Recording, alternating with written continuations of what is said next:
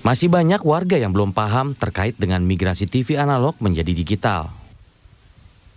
Untuk itu, kini pemerintah melalui Kemenkominfo gencar melakukan sosialisasi migrasi tersebut di sejumlah televisi. Nantinya jika layanan digital sudah dapat dinikmati, masyarakat bisa menggunakan set-top box untuk mendapatkan kualitas gambar yang baik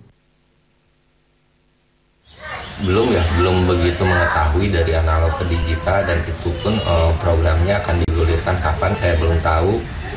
Uh, dan nanti seperti apa gitu apa kita harus beli apa kita uh, dapat dari pemerintah gitu.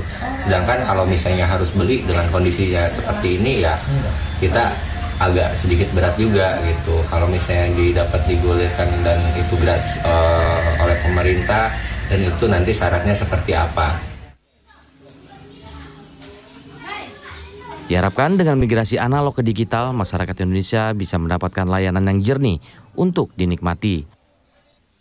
Karenanya pemerintah tengah gencar mensosialisasikan ke masyarakat terkait dengan migrasi ini.